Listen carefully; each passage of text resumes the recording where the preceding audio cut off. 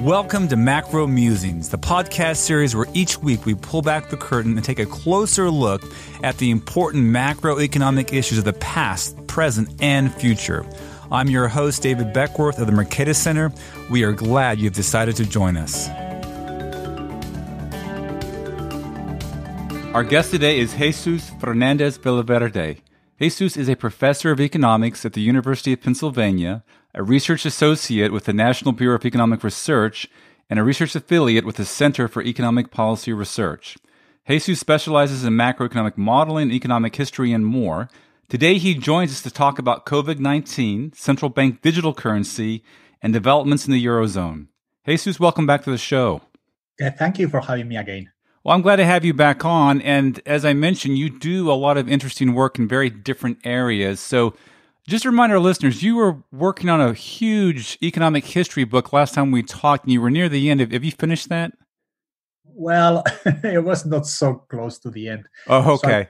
So, no, but I I wrote a very nice chapter on energy and the and economic history and global economic history. I got very interested in uh, the very central role that energy plays in economic history. And uh, that took me a little bit longer than I wanted. And then, actually, right before the crisis in the fall, I was writing all the chapters related with demographics and climate and plagues, which turned out to be the case surprisingly. Great timing. Etc. I was really planning to make a lot of progress this semester. I had a very, very uh, light teaching load this semester, and I really hope to have something ready by the end of the summer. But you know, life has changed for everyone, so uh, hopefully, I will I will have more time during the summer. Yeah, and we'll get you back on the show to discuss that. But what's fascinating to me is you're doing hardcore economic history.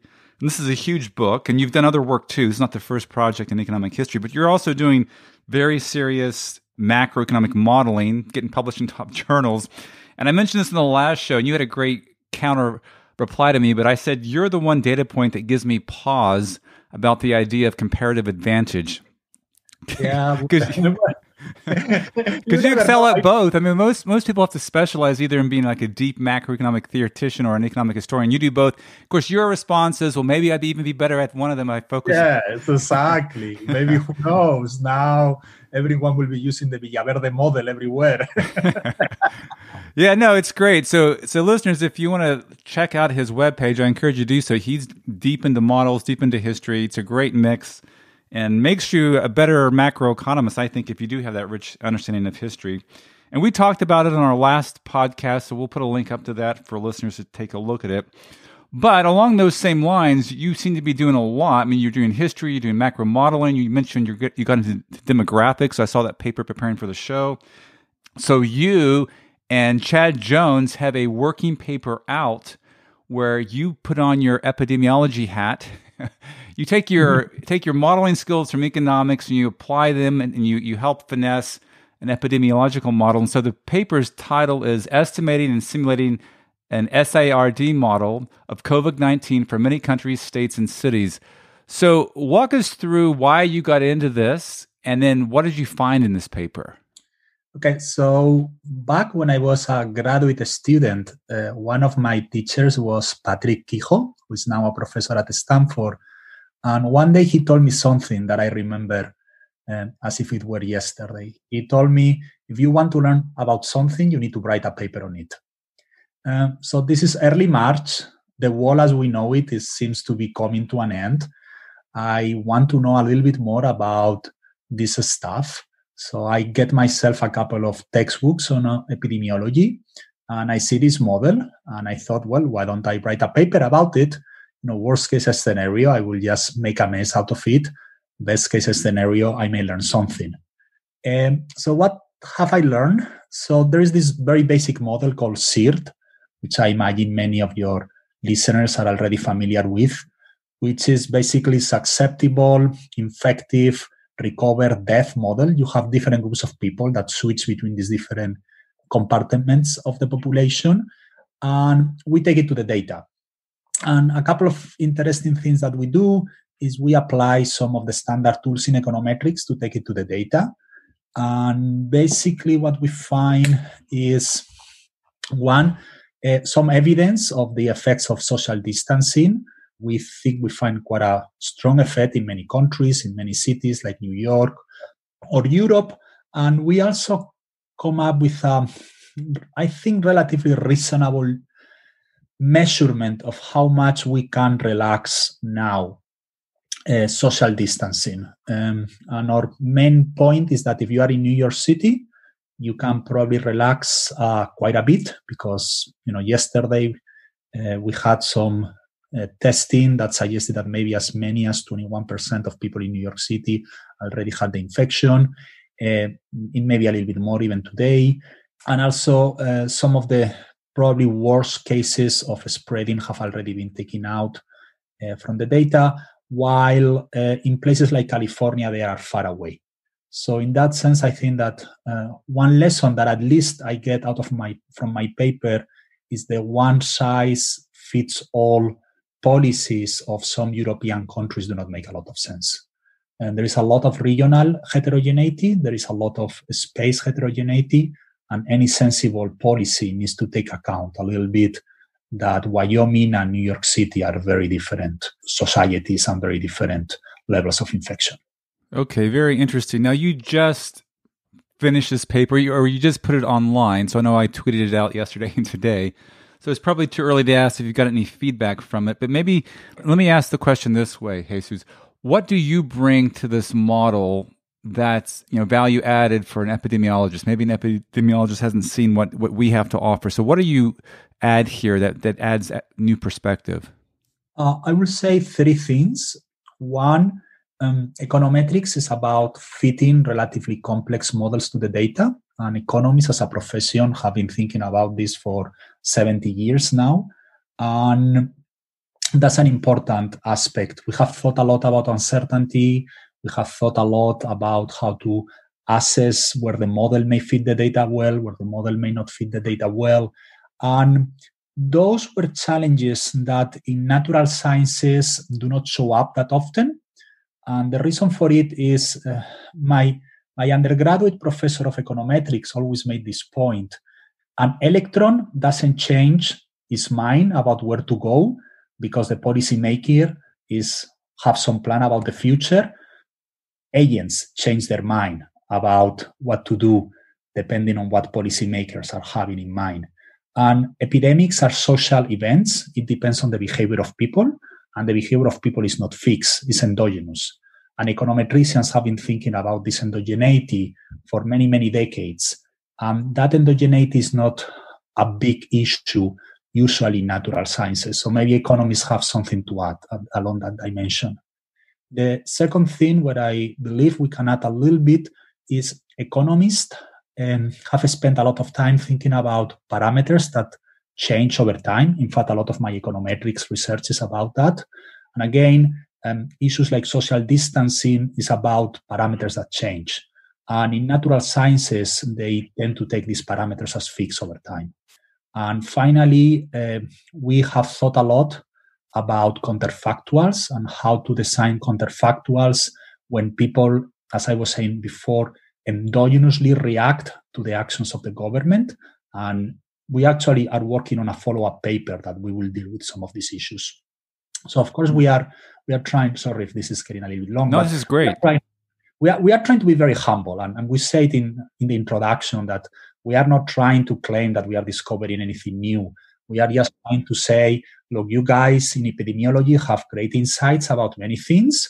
Uh, we think that in economics we also have some ideas about how to model and take dynamic models to the data, especially when agents are reacting to policy decisions. And maybe there is something to be gained about talking from these two sides of the aisle.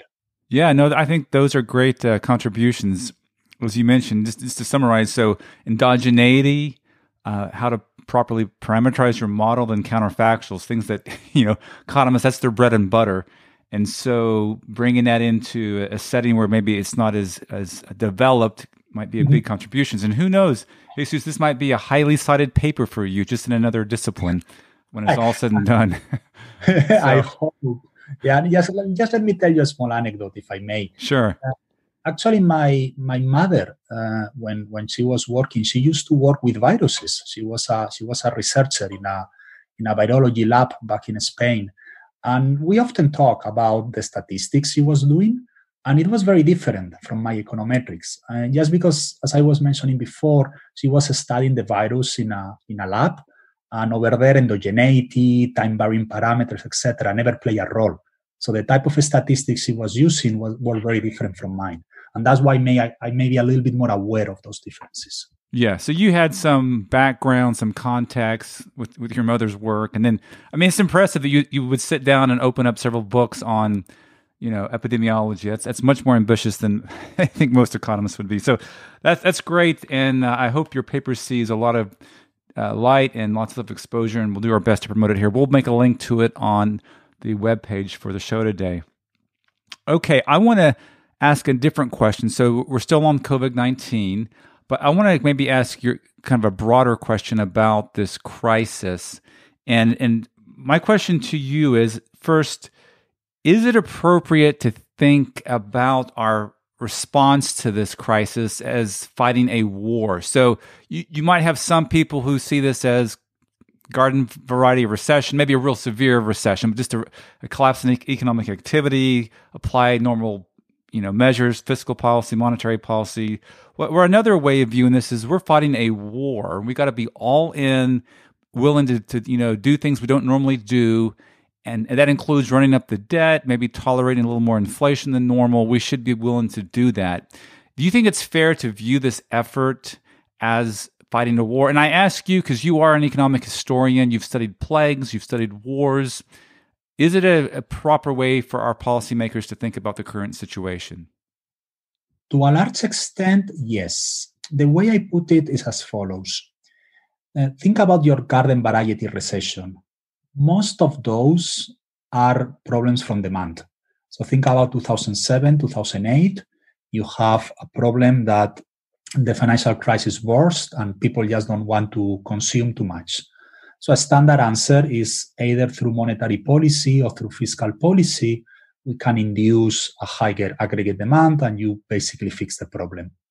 And the situation now is a little bit closer to a war because the problem that you have in a war is that suddenly you take 10 or 20% or even 50% of your labor force and still of producing pencils or books or things that we like, they either need to become a soldier or they need to produce weapons, which we don't like in themselves.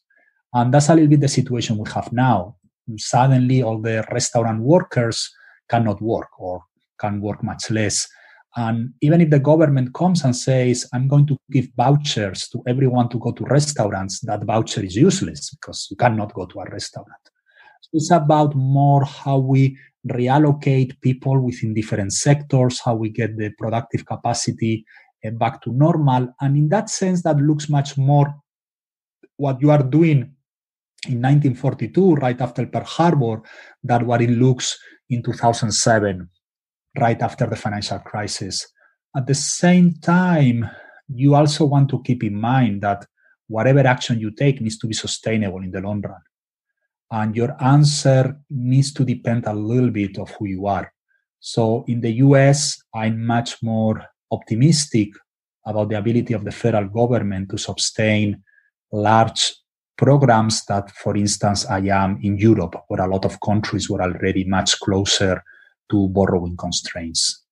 Yeah, like Italy, I imagine you, you, you're thinking of at this time. We'll come back to the Eurozone a little bit later in the show, time permitting. But yeah, that's my framework too. And I think it's a useful way to, to think about this. And you know, I, I mm-hmm. think some of the concerns that some people are now bringing up. So I think early on there was there was unity. There was there was definitely raw raw team. Let's go. Let's do everything we can. There are some cracks beginning to emerge in this this consensus we had early on in terms of policymaking, and they've you know they're around the amount of debt we're incurring as well as potential inflation, but my thinking is again, you got to keep the vision straight that we're fighting a war. But secondly, even if you, you th- want to start thinking about the numbers, it's true we're running up a lot of debt. But I also see the evidence risk aversion is through the roof as well, and probably will be. There's there's you know literature on how people live through a really severe crisis, they tend to take that with them. People who lived in the Great Depression tended to save more afterwards. And I think you may see something like that coming out of this crisis. So it's it's not clear to me at least that we are at the point where we should really be worrying excessively about inflation on the horizon. I'm less worried about inflation and in particular I'm less worried about inflation because it will have the quote unquote right redistributional issues or consequences. What do I mean by that? We know that the coronavirus has very, very different consequences for younger people than for older people. So by shutting down the economy, in some sense, we are making a gigantic transfer to the older generations in the economy. The person who's 25 years old and she loses her job is implicitly transferring resources to the person who now is 75 years old, getting a social security paycheck and being better protected against the coronavirus. So a little bit of inflation that will erode the nominal assets and the nominal income of those that are a little bit older will benefit the real income of those who are a little bit younger. And in that sense, any strategy of getting out of this crisis needs to think a little bit about those intergenerational transfers. And I'm concerned about this because it was already the case that when you look at most countries, including the United States and the Eurozone, most of the adjustment of the financial crisis was done by relatively younger cohorts. And that's the reason I think many people in their 30s are very unhappy in the political process right now. And what we cannot really add is people in their 30s to pay a second time for a large crisis in less than 15 years. I don't think the political system will be able to, to accept that.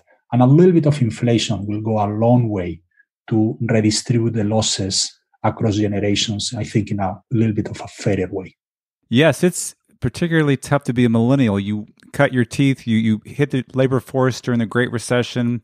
Here we are a decade later, and you're going through another very severe, maybe one of the worst that this country will go through when it's all said and done.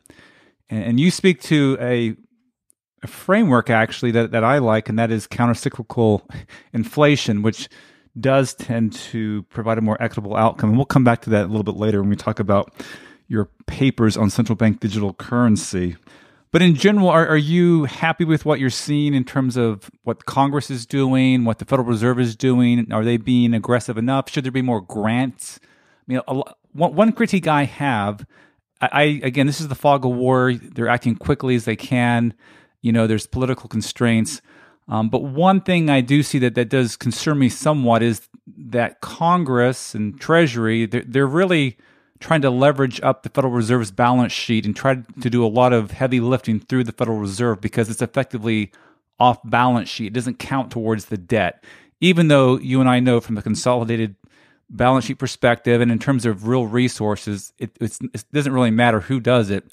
But it's it's a way to avoid making tough decisions. It's a, a way to avoid you know, increasing big numbers to the debt.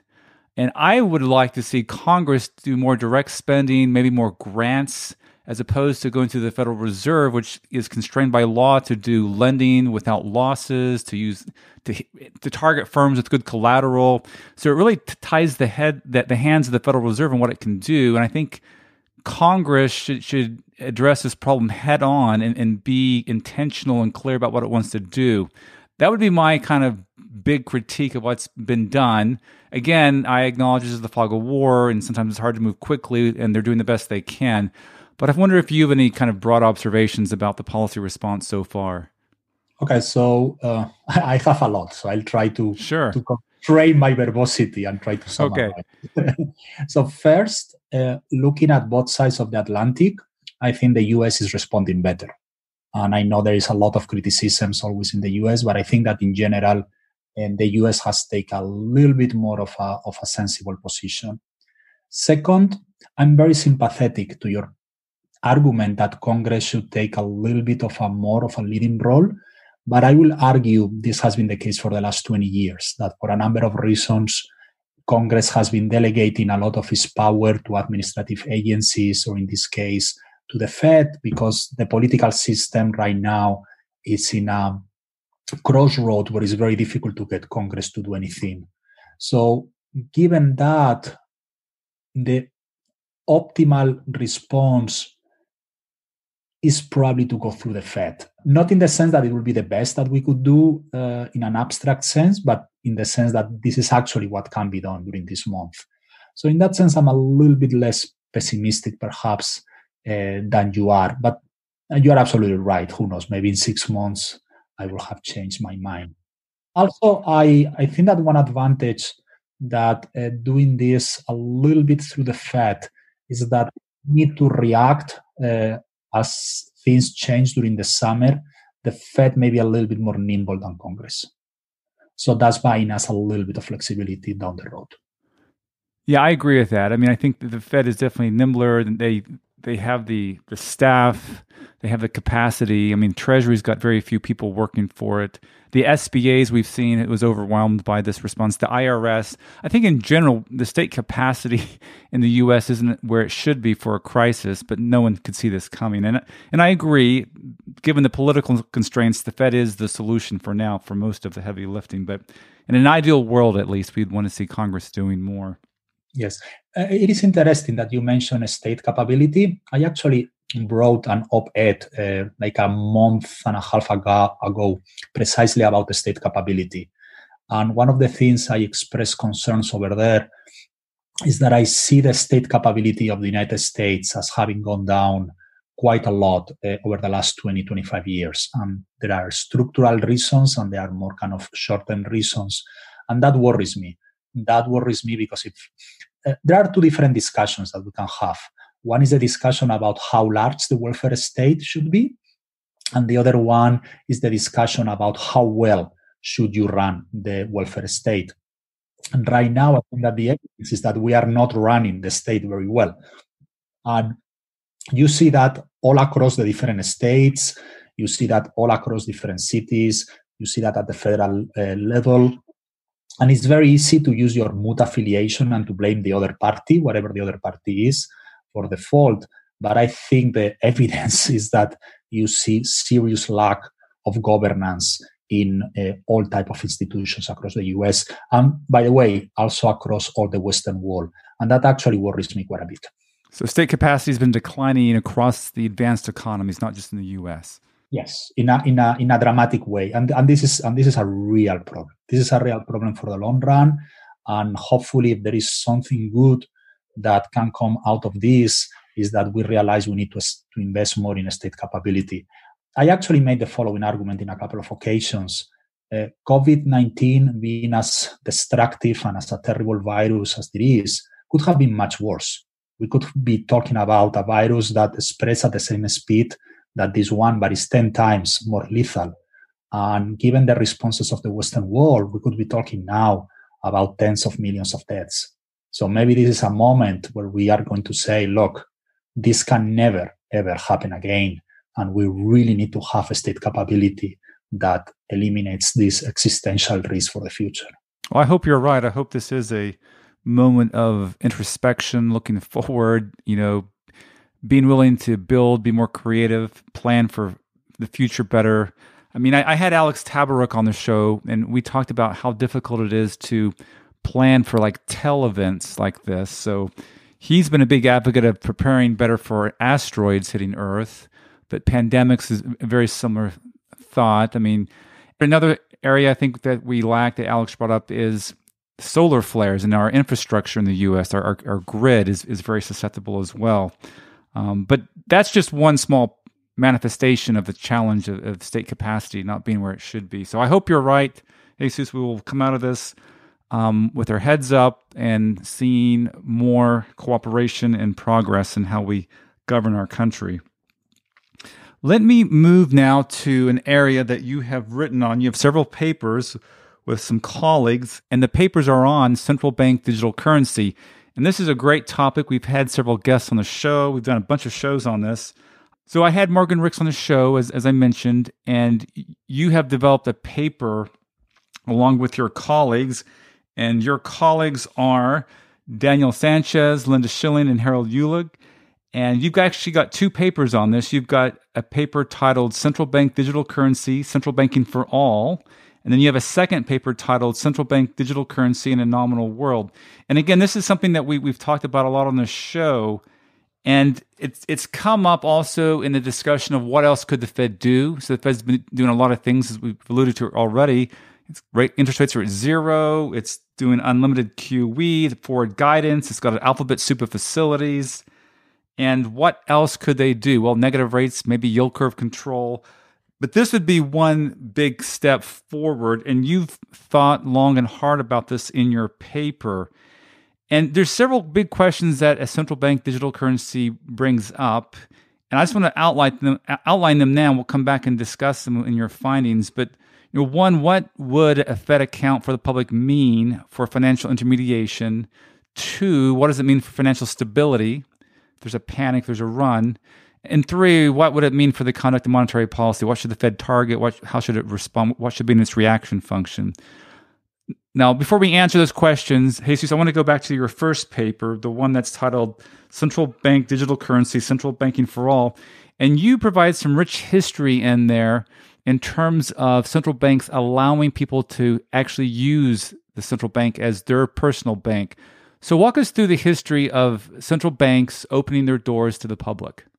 So, if you actually go back and read a little bit about the history of central banks, this idea that the central bank is an institution where only other banks can uh, do business with, etc., is to a very, very large extent a creation of the 20th century, even more after World War II. So when central banks are created in the late 17th century in Sweden and in England, and then in the 18th and 19th century other European countries and in the United States, they are super banks in the sense that they are regular banks that are going to do regular checking accounts and saving accounts and intermediation, but they just have some type of privilege. So, for instance, the Bank of England will allow you had the privilege, had the monopoly of issuance of currency notes, first around London and then in most of England. Uh, the Bank of Spain had also the monopoly to issue some types of uh, notes. And the first and the second Bank of the United States had some ability to deal with the Treasury of the United States. But by and large, you could walk into your local central bank branch and say, I want to open a checking account, and you will be able to do it. And in some countries like Spain, this was the case until 1962.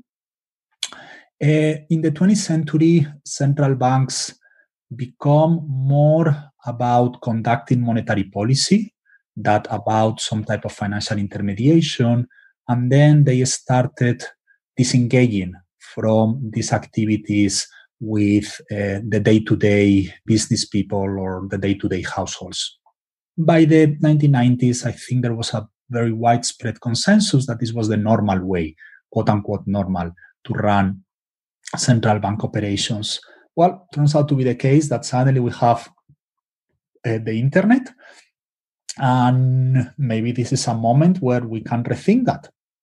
Can we go back to the to the 19th century in some sense, where you could have a, a checking account at the Bank of England or the Bank of Spain or the First Bank of the United States, with the difference that now, thanks to the internet, that central bank doesn't need to have 10,000 branches all across the country. You can do everything through the internet. So that kind of opens a whole new area of financial intermediation. And then what I wanted to do with my papers was to think, is this a good idea or not? Yeah, and you guys have developed some models in there, and we'll talk about the findings in just a minute. I, I want to go back on your history, though, because you have some really neat data for the Bank of Spain, and you're from Spain originally, so maybe you had an interest and you knew about this. But I was reading in there, and at one point, the Bank of Spain had 75% of all demand deposits. Is that right? So the central bank had, you know, an overwhelming majority of all checking accounts, demand deposits in the country. And as you said, it went up to 1962. That, that's pretty mind blowing. I mean, for someone in my age, this generation, you're like, wow, that's that's hard to believe. I don't know, but I remember being a small kid walking with my grandmother and um, apparently, my grandfather, which I never met, had a, a, checking account at the Bank of Spain. And she was always very concerned because after 1962, uh, he had to close that checking account and use a regular commercial bank. And she was always very worried that a regular commercial bank was not as sound as the Bank of Spain. And I remember walking in front of the local branch of the Bank of Spain that still existed, but they didn't really do anything at that moment. And she, uh, she will always complain, "Oh, you know, I used to have a checking account over there." Interesting. So in that sense, in that sense, I had a little bit of empirical evidence from the beginning. But yes, so let me let me tell you, in fact, why many countries create central banks. And, and if you actually read a little bit of the history of the United States, you will see that a lot of the motivation between, sorry, behind the first and the second ball uh, Bank of the United States was about it. Uh, banks just don't appear by spontaneous generation. You need someone who will push for that bank. And when you are a relatively agrarian economy or you are a relatively under, underdeveloped economy, you may not have the private sector initiative from the private sector to create that bank. So you may have, as a government, you may think, well, why don't we help creating this bank? And the goal of that bank is not really to conduct monetary policy, is to provide levels of financial intermediation which will not otherwise exist. And that was really behind uh, a lot of the central banks uh, around the world. It was not when when the Bank of Spain is created, is not to do you know, open market operations is to ensure there is financial intermediation in the country. And we have forgotten that as economists. Yes. And it's worth noting that we already do have partial access to the Fed's balance sheet or to central bank balance sheets in general. So you and I have physical cash, which mm-hmm. is a mm-hmm. claim against, you know, the Fed's balance sheet. It's just that we can't have access to the electronic version of the Fed's balance sheet. So it's kind of an artificial barrier if you think of it in terms of that. That being said, people do have legitimate concerns about what effect this might have on financial intermediation, but but it, it's it's worth considering. You know, at a very fundamental level, we already do have partial access to the, the balance sheets. And as I was reading your history section, just another one other thought.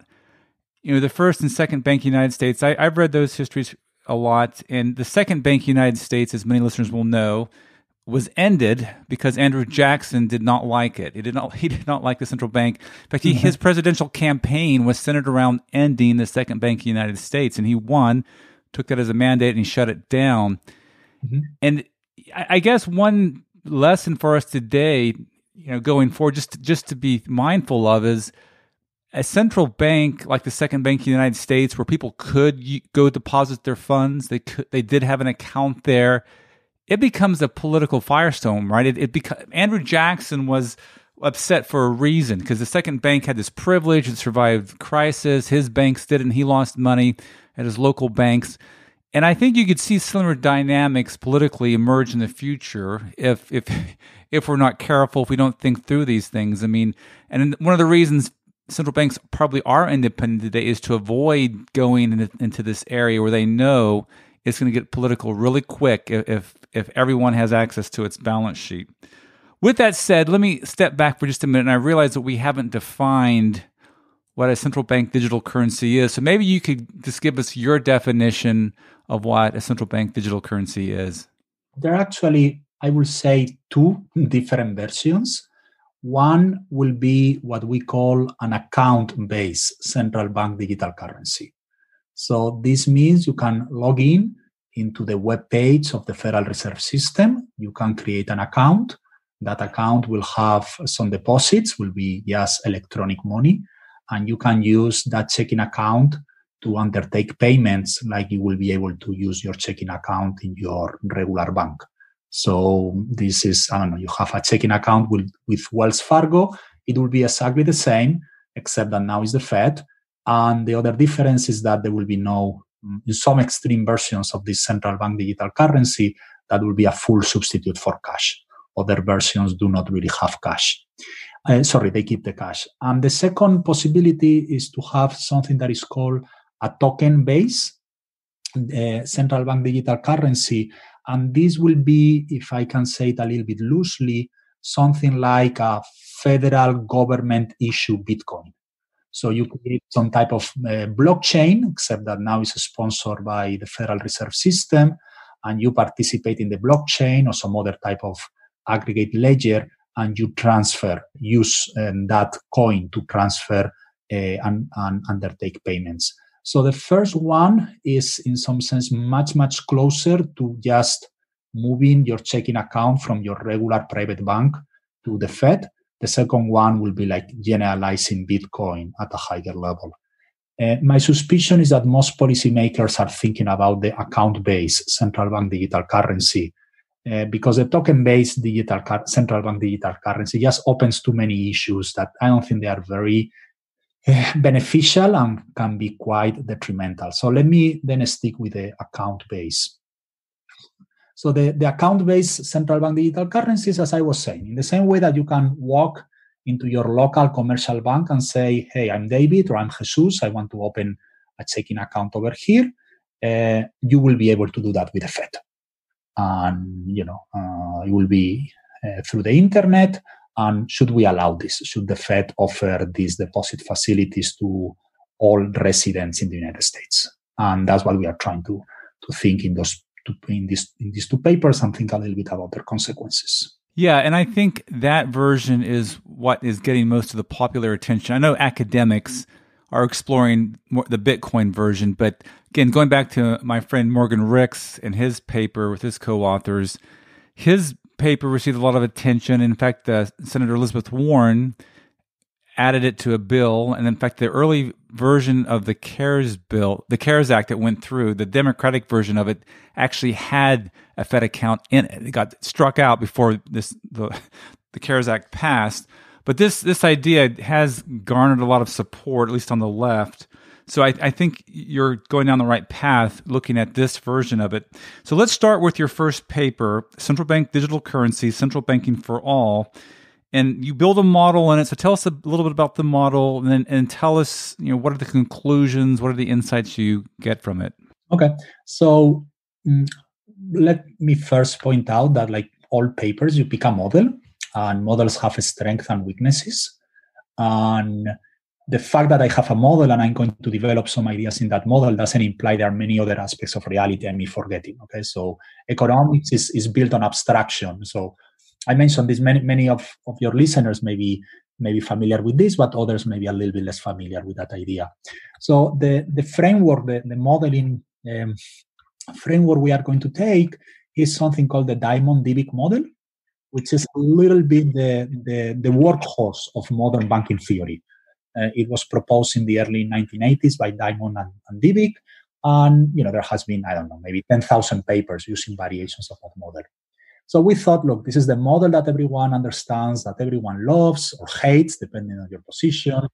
And the good thing is that in that way, your results will be very transparent. Everyone will be able to see them right away. And this is a model that uh, highlights the role of financial intermediation and maturity transformation. And this, at the end of the day, that when I when I explain this to my my undergrads, I always tell them that this is a model of it's a wonderful life. You know, you remember when uh, you know, there is this bank run, and people are asking Jimmy Stewart for his money, for their money, and and Stewart says, no, no, but it's in the it is in the house of this person, or it's in the house of that other person. So you basically have short run deposits in the in the bank, and what banks do is they package those short run deposits, invest them in long run projects, and that transform uh, that transformation of maturity uh, allows society to achieve things that otherwise will not be uh, feasible. So then we basically modify the model by introducing a central bank. And we ask the question well, if this central bank allows these uh, checking accounts, it will transform all the uh, maturity transformation in the economy. Do we get a better, or worse, or the same outcome that if we had not allowed that? And the first result that we get is what we call an equivalence result. And it basically says that a central bank that is open to all, as long, and this is going to be very important, as long as it is not fiscally backed, that means it doesn't have extra sources of revenue from the government, will be able to deliver exactly the same allocation that commercial banks. Okay, so this is basically saying at the end of the day, the, the Fed is not going to be able to do anything worse or better than commercial banks. And the intuition is very simple. Uh, basically, the Fed is going to be disciplined by commercial banks. If the Fed is offering a service that is much worse than commercial banks, no one will bank with the Fed. So it will be irrelevant. Whether or not the Fed has checking accounts will be irrelevant. if the Fed is trying to offer a better service, it's not going to be able to do it because where do the funds come? The competition will force banks to uh, offer the same type of service. So there is no reason why the Fed can't do any better. Now, this result will break down under two situations. One is when commercial banks have some type of monopoly power, and then the Fed can break into that monopoly power. Uh, how much of monopoly power banks have in the US or in large economies? A little bit, but I don't think it's such an important issue. You know, I'm, I'm open to discuss this, this, this concern. The second one is if the Fed starts to get some type of fiscal backing from uh, the government, because then the Fed will be able to do other types of maturity transformation. And let me give you a very simple example. Um, so imagine that Senator Warren is able to convince the Senate to pass this legislation. And three months later, she comes up with the idea that if the Fed is going to engage in this type of central banking and you are making a deposit, and it happens to be the case that you are a firm and that firm has achieved some goals in terms of climate change and CO2 reductions, you are going to get 25 extra basis points on your interest.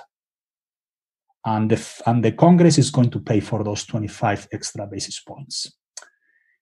Uh, that's when the equivalence results break. And what my concern is, is that the political process is going to generate exactly those type of uh, transfers. And and it's not going to be most of in most occasions oh i'm going to give money to the people i like. Most of the attempts at providing extra transfers are going to be very well intentioned. They are going to be oh if you're a firm that reduces co2 i'm going to give you some special advantages.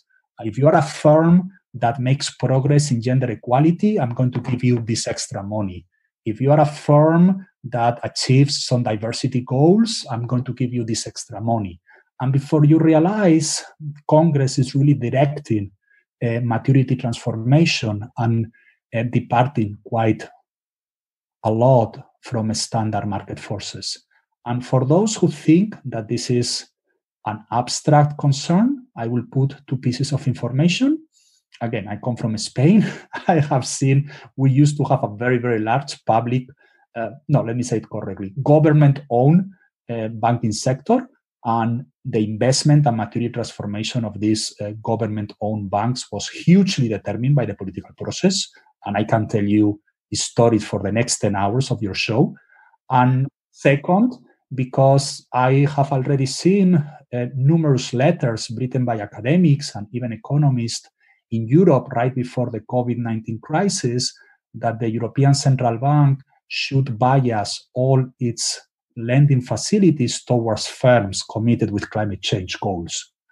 And before you realize, as I was mentioning before, you are going to have a whole investment portfolio that is going to be dictated politically. Yeah. So every election, portfolios will swing one way or the other based on who's on who's in power, and that does that concerns me. I, I agree. Right before this crisis broke out, I was worried about all the push for using central banks to promote green investments as opposed to providing financial stability. And the, the politicization of finance, you see it everywhere. I mean, there was a call not so long ago to restrict credit card use for gun purchases, for example, which you might be sympathetic to that. But if that's the first chip to fall, what's next? What ne- what's the next unpopular transaction you could target? I think your point is well taken. It's easy to see the central bank opening up its balance sheet becoming very politicized. In fact, the baseline case in my mind probably wouldn't last very long if at all you'd quickly end up in this this worst case but let me ask a question about the baseline scenario where there is no special fiscal backing for the central bank in the baseline case if there's no fiscal backing for the central bank nothing special about it why would the central bank even be offering services why would anyone want it if it's no different than any other bank is right why would it even emerge and take that role?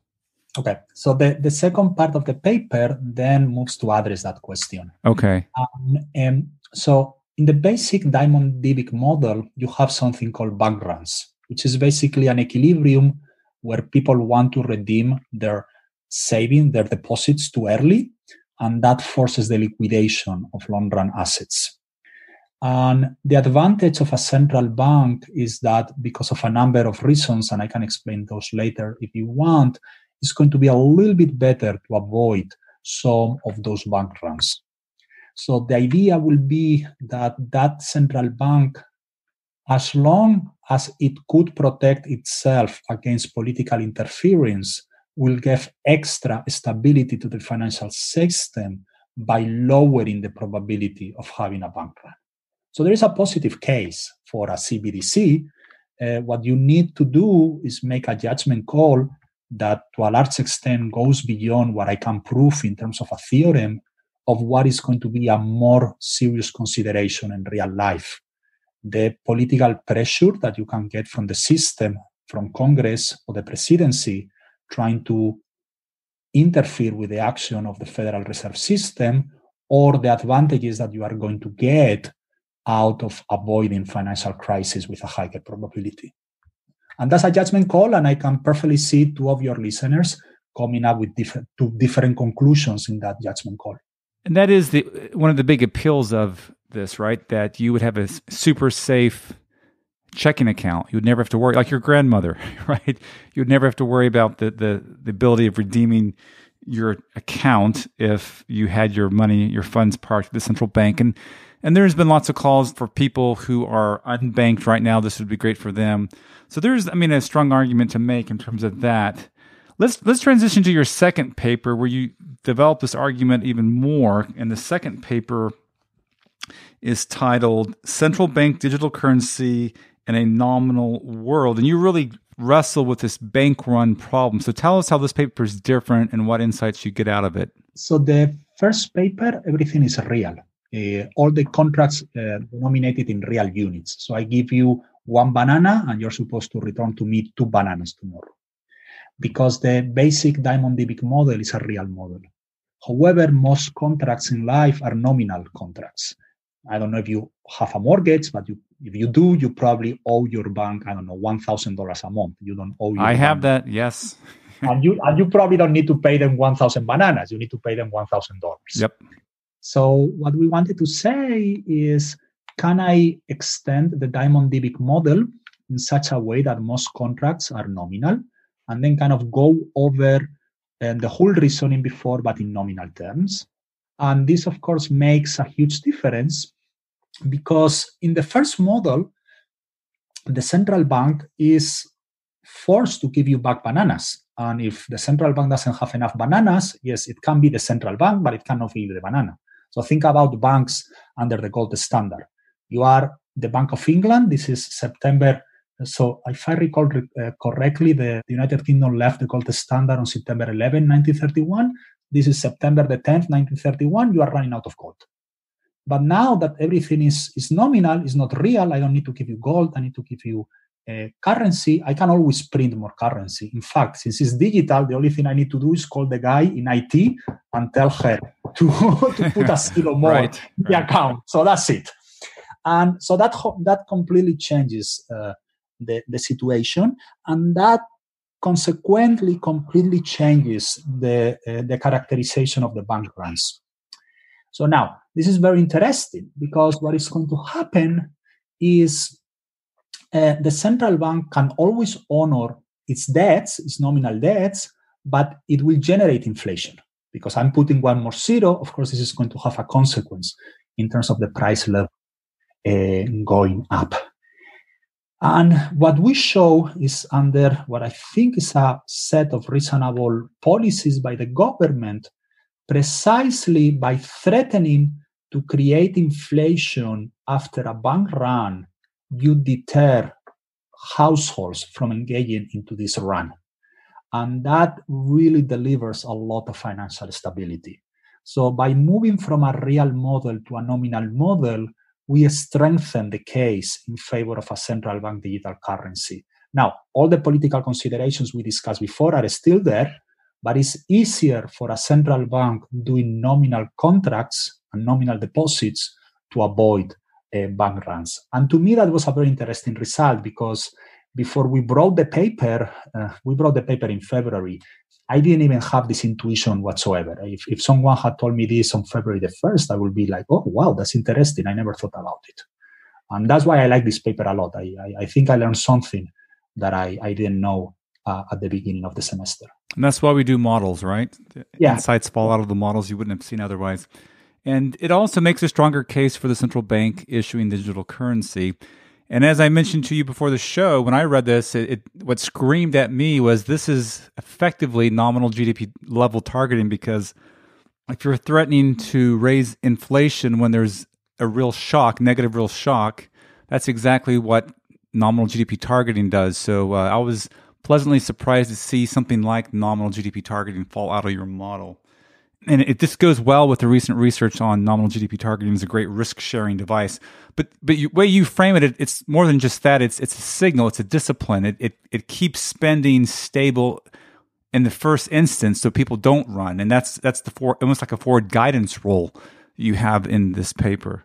Exactly. So we don't make the explicit connection about the nominal GDP targeting, and I guess that when when we revise the paper, we should make it because I, I, I agree with you 100%. But yes, it really it really helped me thinking a little bit more about how important is the fact that nominal contracts really do make a difference in ways that go a little bit beyond you know your boring New Keynesian model with sticky prices and sticky wages. So I, I, I've written, I don't know, maybe two dozen papers using New Keynesian models. And it's always about, you know, you cannot adjust your prices that much, blah, blah, blah, blah, blah, blah. Right. But this is, a, in, in some sense, a little bit much more fundamental. And the fact that your contracts are nominal and you have financial intermediation really pushes you in a full, completely different world and maybe some economists will say, well, we have known that since 1930, and I will agree with that. But you know, it's, it's the realization when it comes from your model, it's a little bit of an epiphany that uh, is different than when you are sitting in class and your your professor is telling you when you're in the first year graduate class. It's uh, I don't know I, I don't know if it happens to you or not, but whenever a result comes of my own paper, suddenly you are oh now i understand what they were telling me when i was a freshman right no.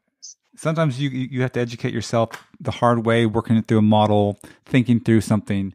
But no i, I completely agree with you and I, and I had evan koenig from the dallas fed and he's written on a related area. Again he, he's written on the nominal income targeting nominal gdp targeting as a form of risk sharing and and he came onto the show and, and he's worked on these models too and he goes one of the big challenges that we face in our profession is kind of the workhorse new keynesian model. It's all about output price stickiness. There, there's some wage stickiness as well in there but often it's you know the calvo pricing model. So it's it's all about price rigidity as being the main friction where he goes really what matters a lot is nominal debt uh, rigidities. You know, we can't quickly renegotiate your mortgage. Those are the things that really matter and have huge consequences. We saw that in 2008, as you mentioned in the Great Depression. It's just that our models haven't incorporated that that friction as much as maybe they should have. So in that sense, I have been playing with a colleague of mine, Guillermo Ordóñez at Penn, for like five years on a paper that we have not finished and we should finish one day. And over there, we argue that renegotiating contracts is costly and in addition to it, you don't want to be the first that renegotiates the contract. So imagine that your bank has a mortgage to you and with your neighbor. So you don't want to be the first that renegotiates the mortgage with the bank because then who knows? Uh, maybe the bank will offer a better deal to the second person or the other way around. Interesting. And inflation is a way to renegotiate all nominal contracts in the economy at the same time. Huh. So instead of having to go through the mess, imagine that it will be better if all the debts, we get out of this crisis, and it will be better if all debts and all nominal contracts get reduced, get a 5% haircut. Yep. Very difficult. You know, even if yes, because we are going to make a small army of lawyers rich. Well, the Fed comes, gets a 5% inflation that is unexpected. Well, that's a 5% haircut. Right.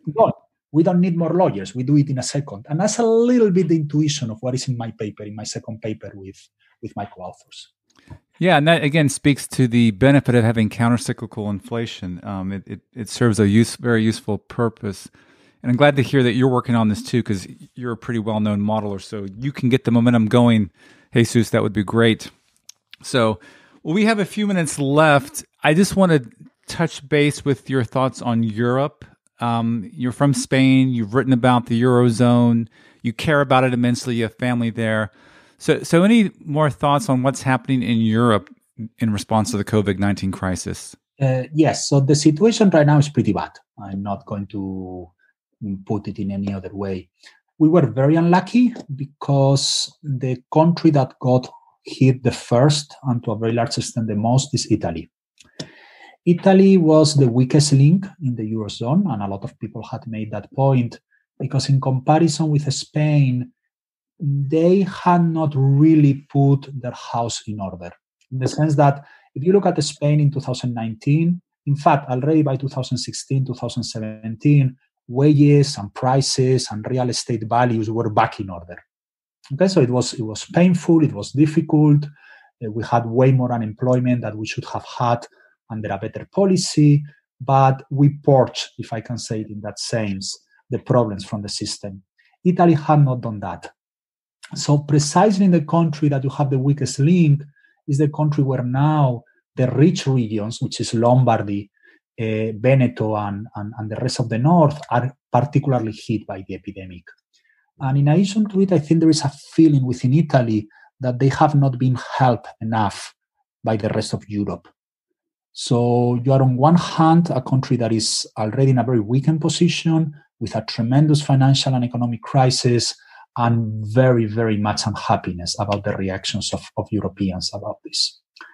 And either the European Union is way more proactive in trying to uh, share risk in the right way, or, or this just cannot continue. Something is going to, to blow up uh, sooner or later.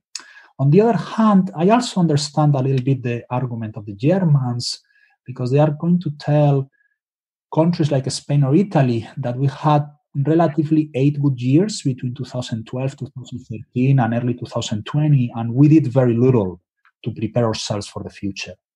I gave a very large talk, public talk in, in Spain in May 2019, and I was going in some detail about how our fiscal situation was really very, very weak.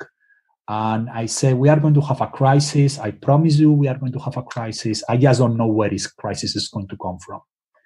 And when that crisis comes, we are really, really, really going to be close to the limit of what we can borrow.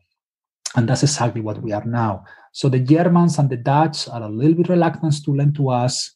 On the other hand, I think this is a perfect example of a situation where they should lend to us. I mean, to us, I mean Spain and Italy. Uh, because this is not really our fault in the sense that it's not that we created this virus ourselves. So this is going to generate huge amounts of unhappiness in the European Union. And I really hope the European leaders will be able to find a path forward. On that dimension, I'm actually relatively pessimistic. I, I hope that, you know, in one year when we talk again, I can report better news.